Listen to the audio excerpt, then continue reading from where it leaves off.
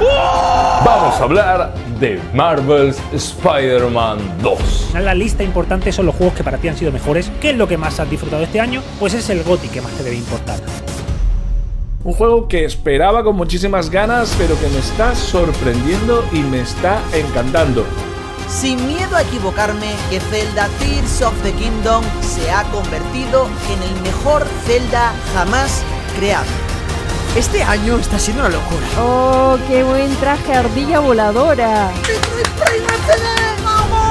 ¿Es Lost of the Fallen el nuevo sucesor de Dark Souls? ¿Cómo es que lo lograron? No entiendo. Es la obra maestra que nos contaron. La prensa le está dando 10, otros 5,8.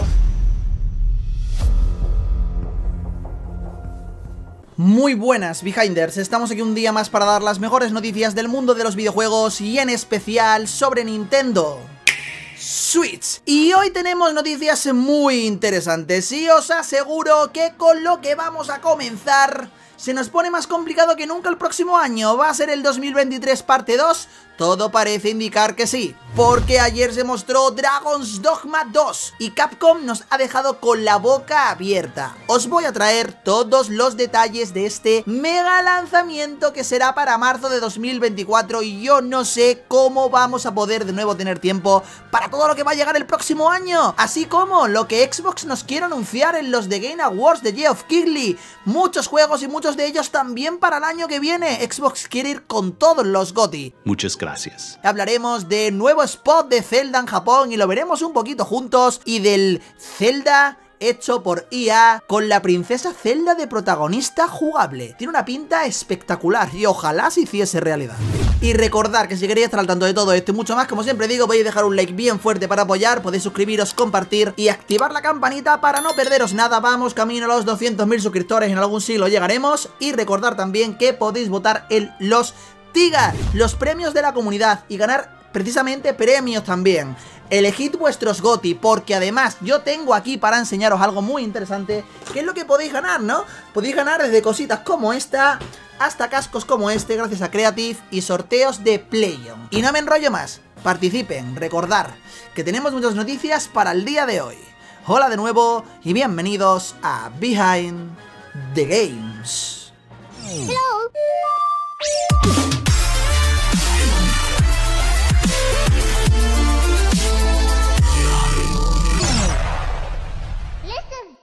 Hoy tenemos un vídeo cargadísimo comenzando con Dragon's Dogma 2, el gran triple A de Capcom para 2024 que ha confirmado su fecha de lanzamiento con un gameplay espectacular. El director de Dragon's Dogma, Hideki Itsuno, como el productor del juego, Yoshiaki Irabayashi han destacado una serie de detalles ilusionantes. Han querido recordar que la elección del jugador es el centro de la experiencia del título aunque lo que más ha impactado a todos son los monstruos enormes que se han podido ver como el gigante Talos, una bestia enorme a la cual debemos detener con la ayuda de nuestros colonos y lo mejor es que el combate puede cambiar dependiendo de cómo lo afrontemos tengo que decir que yo tenía buenas vibras con este juego. Lo que estaba viendo me estaba gustando, pero lo que he visto me ha sorprendido todavía más. Me parece una auténtica barbaridad lo que he podido ver del Dragon's Dogma 2. De hecho, nos pone encima de la mesa un mega triple A de Capcom y puede ser uno de los mega triple A's más caros y ambiciosos que Capcom hayan hecho nunca. Se acabaron las pantallas rojas para Capcom y le pondremos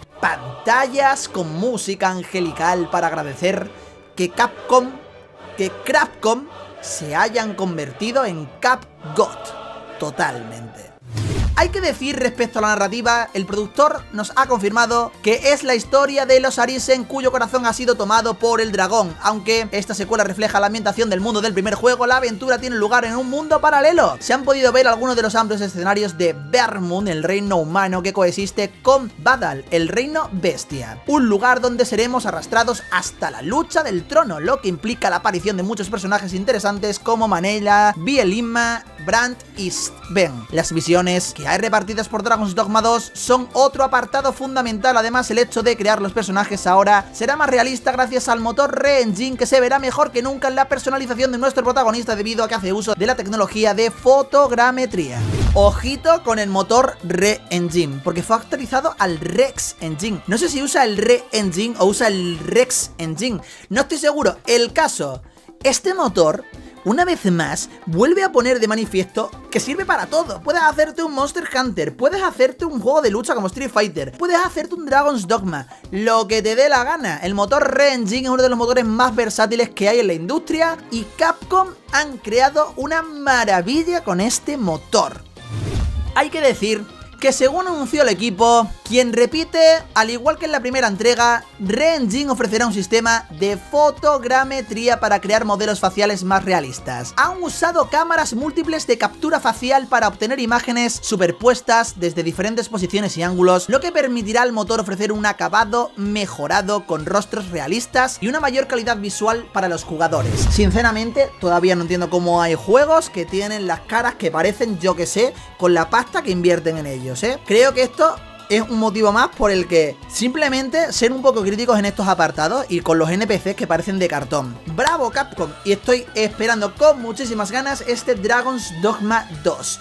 ¿Tú crees que va a ser uno de los principales candidatos a GOTY del 2024? Yo ya voy diciendo que se va a postular como uno que prácticamente seguro que va a ser de los mejores juegos del próximo año 2024 y Capcom de nuevo volvería a tener otro GOTY más en los nominados. Y hablando de nominados, Xbox tiene salvo Hi-Fi Rush, que están muchas nominaciones, pero no tiene presencia en grandes premios. Aún así, Xbox, históricamente, tienden a tener mucha presencia aquí en cuanto a anuncios. Una cosa que yo nunca he entendido, pero bueno, supongo que es un escaparate y independientemente de que ganen o no ganen premios, a ellos les viene bien poder mostrar ante mucha audiencia de miles de millones de personas las novedades. Y parece ser que Xbox este año de nuevo van a apostar muy fuerte por la gala de Geoff Keighley. Porque en un correo electrónico enviado a algunos, entre ellos IGN, Microsoft confirma que no volverá a ausentarse en la ceremonia de 2023 y bromea con los fans diciendo que habrá grandes anuncios y más noticias de Xbox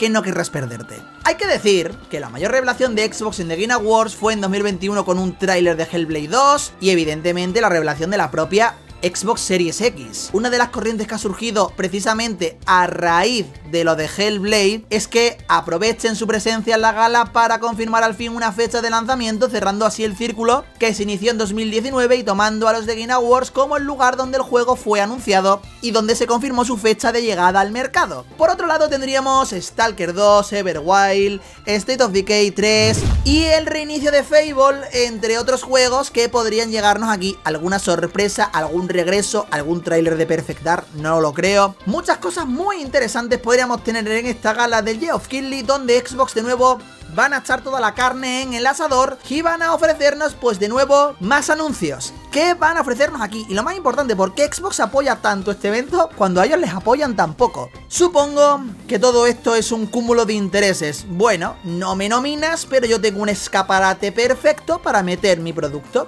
Veremos a ver si a lo mejor no nos sorprenden con algo ya de Activision Blizzard que ya forman parte de todos los estudios de Xbox y nos anuncian que hay aditivos al Game Pass ya de Activision, cosa que dudo, pero bueno, podría ser. O algo referido a este acuerdo que podría estar muy interesante. Me gustaría que los anuncios fuesen aparte de la gala, pero por desgracia te hacen tragarte la gala, evidentemente, para que puedas ver dichos anuncios.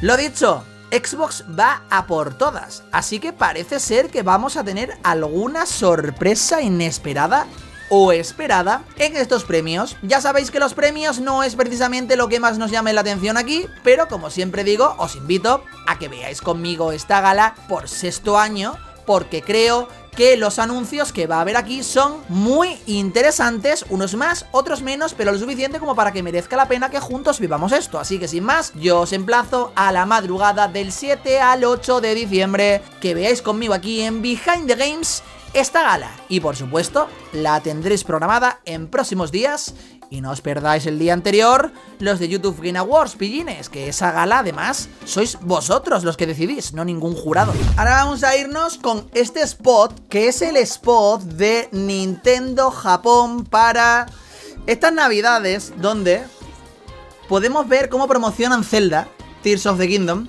Lo tenemos incluso subtitulado y todo, así que yo os recomiendo que le echéis un vistacito.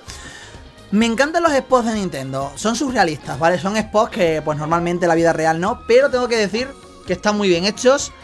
Se dejan su dinero, mm, muestran a fin de cuentas, ¿no? Cómo Nintendo Switch no deja de ser una consola que está hecha para compartir incluso cuando no juegas multiplayer, ¿no?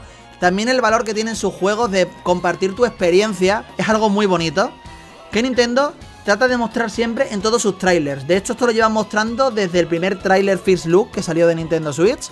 Y aquí podemos estar viendo cómo se han centrado en The Legend of Zelda. Hoy quiero terminar el vídeo con The Legend of Zelda porque al final os voy a enseñar una cosa brutal.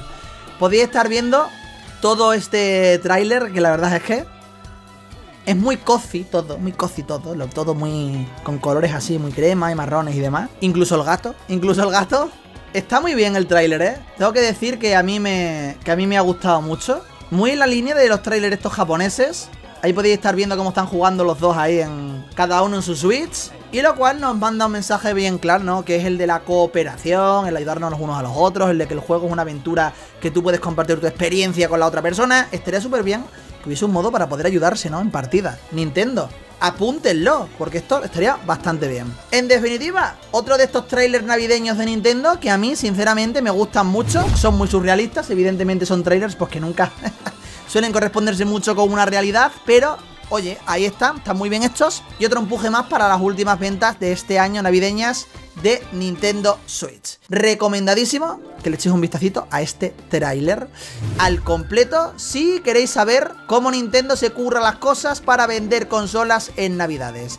En otro orden de cosas, algo que a mí me encantaría que Nintendo se currase sería un juego con Zelda de protagonista. Sinceramente, ¿os imagináis un juego de Zelda de protagonista? Pues esto podría ser realidad. Ojito con esto, está hecho por IA, pero yo cuando lo vi pensé que era trabajo de algún fan.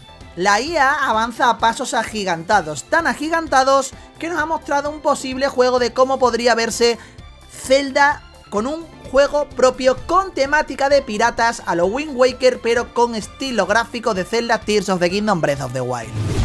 La verdad es que las imágenes impresionan bastante. Que esto lo haya podido hacer una IA nos deja claro cómo avanza la tecnología. Lo más importante, también nos deja claro cómo podría verse un juego dedicado a la princesa Zelda, donde ella fuese la protagonista en una aventura muy de piratas, muy, repito, me recuerda a Wind Waker, pero también me recuerda incluso a Immortals Phoenix Rising un poquito todo esto. Sinceramente, tiene una pinta buenísima. Voy a pasar a ver con vosotros más detenidamente las imágenes, porque quiero verlas una a una para que veáis cómo se vería. La verdad es que está muy bien hecho, incluso han conseguido hacer las manos y todo bien, cosa que las IA la suelen hacer fatal. Aquí tenemos a Ganon Pirata. ¿Cómo se vería un Ganon Pirata? Eh, oye, oye, oye, de verdad, sinceramente, que, me llama mucho la atención esto, eh, que se ve muy bien.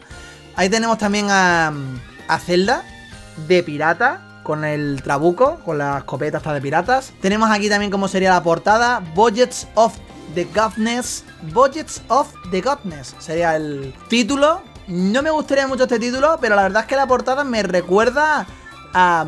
Tengo que decir que recuerda a, Wind Waker con, con el Ocean Horn, este mezclado sobre todo con el Breath of the Wild. Porque esto está muy inspirado en la portada de Breath of the Wild. Es como una mezcla ahí. Parece que lo de atrás en la Death Mountain. Ha creado la IA una imagen bastante curiosa. Tenemos otro primer plano del Ganon pirata. Creo que este Ganon podría incluso superar en cuanto a carisma al actual. Tiene muy buena pinta, ¿eh? Me gusta mucho. Luego aquí tenemos más luchas contra piratas. Sería un juego con una temática muy pirata. Tendríamos por aquí cómo estamos luchando con el de Rise of Con. Se ha colado aquí Rise of Con en este juego. Y tenemos ahí a, de nuevo a Zelda con ese atuendo que tiene, por así decir, un poco, ¿no? Como el rollo, el atuendo que, llevamos con Link y que lleva ella misma en Zelda Tears of the Kingdom. Muy buena pinta, sinceramente, ¿eh? Muy buena pinta. Montando en un delfín, combatiendo con lo que parece que es un boss, que es como una especie de pulpo con pinchos. Se ve súper curioso el juego. Aquí estaríamos navegando en nuestro barco porque tendríamos la posibilidad de poder navegar. Esto es de hace tiempo, tengo que decir, no es de ahora, creo que es de octubre, ¿no? Pero lo he visto hoy de nuevo y he dicho, voy a enseñarlo para ver qué os parece a vosotros. ¿Cómo quedaría un juego de Zelda? La verdad, sinceramente, nunca mejor dicho lo del juego de Zelda, ¿no? The Legend of Link. Sería The Legend of Link, ¿no? Y Sería Zelda la protagonista, la que manejaríais. Vemos por aquí más imagencitas de otro personaje con capucha, que yo, llamadme loco, pero creo que este es Link. Creo que este es Link. Aquí nos estaríamos encontrando con Link ya en su, en su época moza, en su época ya adulta, muy adulta, ¿no? Con 40 años o así diría yo. Sin lugar a dudas creo que este podría ser Link. Podría ser Link con, con su barba y todo para que se vea que ya está mayor y demás. ¿Por qué Zelda no está mayor? Pues mira, ya no lo sé. Es una IA, ¿vale? Y aquí tendríamos como una fase acuática, un mundo acuático, donde podríamos tener también ese atuendo, ¿no? Distinto. Y podríamos ir cambiando los atuendos de Zelda y demás. Este sería el templo del agua, la verdad. Impresionante lo de esta IA, me ha encantado. Yo os quiero preguntar antes de irme en el vídeo de hoy si a vosotros os gustaría un juego de The Legend of Zelda con esta temática. A ver, un spin-off que se saliese un poquito de lo que viene siendo la típica temática de los The Legend of Zelda, que pudiese tener algún tipo de mm, enganche con Zelda Tears of the Kingdom y Breath of the Wild, sin ser necesariamente una continuación. Se ha hablado mucho de que podría haber un tercer juego y un tercer juego en Discordia podría ser este, un spin-off que pudiese salir independientemente de otro juego grande, aprovechando el mundo de Tears of the Kingdom y Breath of the Wild, aunque yo creo que aquí merecería la pena hacer un mundo nuevo. Sinceramente, me gusta mucho la idea. Es una guía, no es un fan. Pero creo que si la haya sido capaz de hacer esto, Nintendo podría hacer maravillas. Y le pegaría muchísimo la temática de piratas a Zelda. ¿Vosotros qué opináis? ¿Os gustaría ver en el futuro algún juego así? Por el contrario, ¿no os gusta esta idea? ¿Pensáis que Zelda tiene que seguir por su línea? ¿Nada de spin-off? Yo lo vería muy buena idea. Ahora vosotros me tenéis que decir si veis o no buena idea esto. Y por supuesto, todo lo que hemos hablado aquí hoy. Lo de los de Game Awards, lo de Xbox que va a tener mucha presencia aquí. Y todo esto aderezado con Dragon's Dogma 2, que pinta brutal y que estoy seguro que va a ser uno de los firmes candidatos a Game of the Year 2024. La verdad es que hoy no os podéis quejar de las noticiones que os he traído para el día de hoy, así que yo solo os voy a pedir que si queréis apoyar estos vídeos, dejéis como siempre un like bien fuerte, que os suscribáis, que compartáis y que activéis la campanita para estar al tanto de próximos vídeos del canal, y que como siempre, si queréis ver más contenido, tenéis mucho en el canal, por aquí os dejo otro vídeo para ver, por aquí os dejo el botoncito de suscribiros, en primera línea de descripción juegos digitales muy baratitos compra venta de segunda mano en Eneva y también en comentario fijado para votar en los TIG Awards 2023. Y yo os recuerdo que os veo aquí con más y mejor en la próxima entrega de Behind the Games.